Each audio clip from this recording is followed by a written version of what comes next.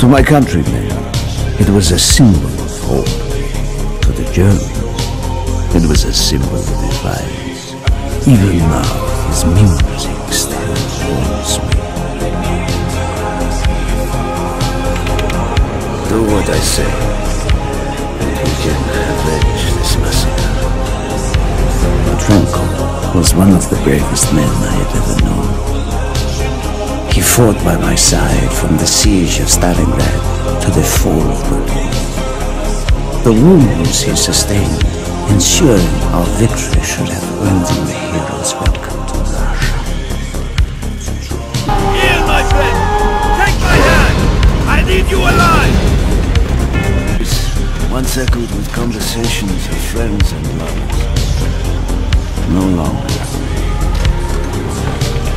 Mark my words, comrade. One day things will change.